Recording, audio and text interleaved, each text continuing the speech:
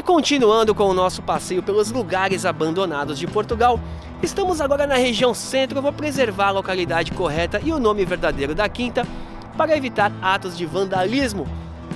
Esta quinta já não tem muita coisa por dentro, mas guarda uma história muito bacana e muito interessante. Sejam bem-vindos agora à Quinta dos Professores. É um nome fictício.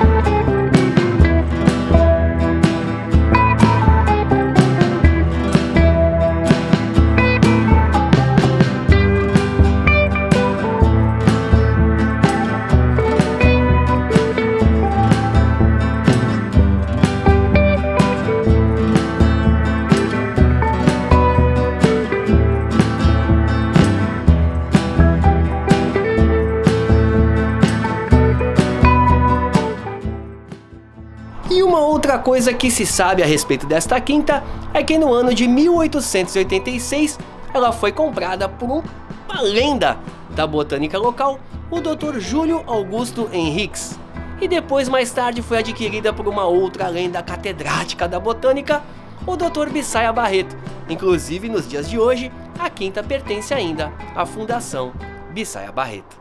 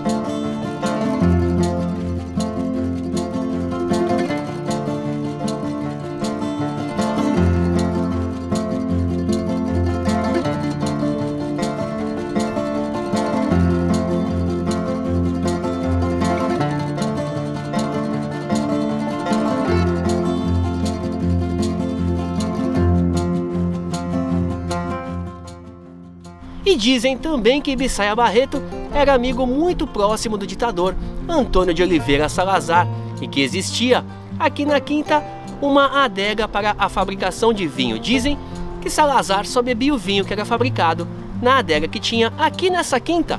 Reza a lenda também que logo após o fim da Segunda Guerra Mundial, alguns soldados nazistas de alta patente da SS fugiram para Portugal. Foram capturados e ficaram presos numa cadeia que existia aqui na Quinta.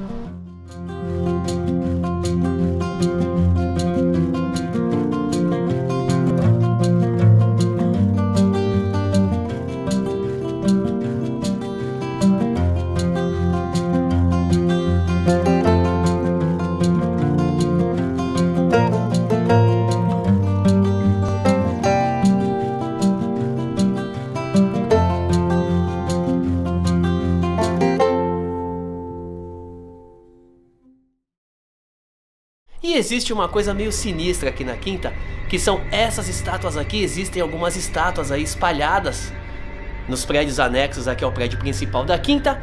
O que seriam essas estátuas?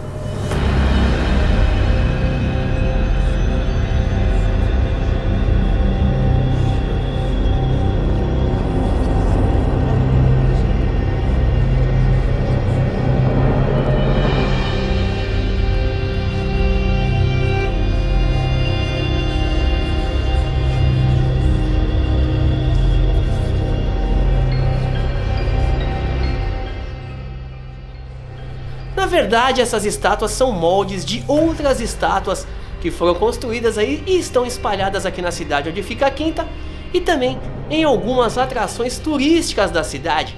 São moldes de outras estátuas que foram fabricadas e que depois acabaram abandonadas aqui na quinta.